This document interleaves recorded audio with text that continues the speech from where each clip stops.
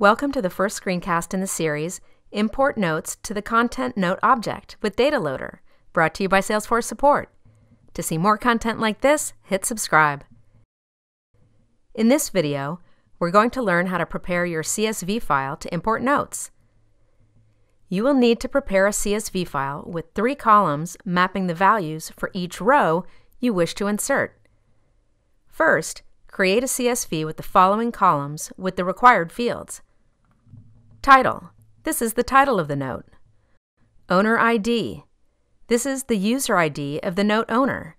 If it's not included in your file, the owner defaults to the user performing the data load. You can get the owner ID by logging into the org, going to the user page, and obtaining it from the browser. You can also export a list of user ID records from the data loader.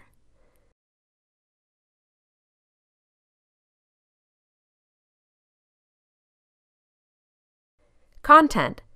This is the path on your local system to the .txt or .html file that contains the body of the note.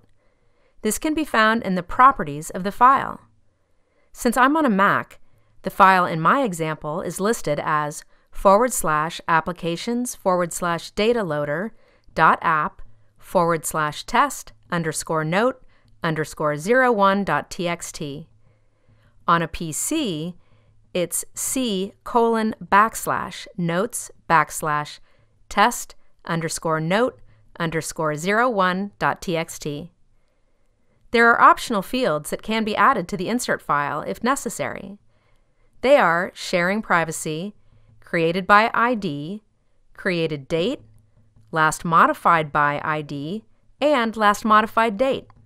In this screencast, I have three notes to enter and the information is all filled out in the CSV.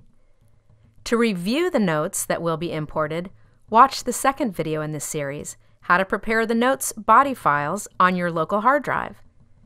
Please keep in mind that in order to follow these steps, you'll need system administrator permissions. Also, the org must have Chatter and the new Rich Text Notes features enabled. If you're interested in importing notes and do not have those permissions, please contact your Salesforce administrator for assistance.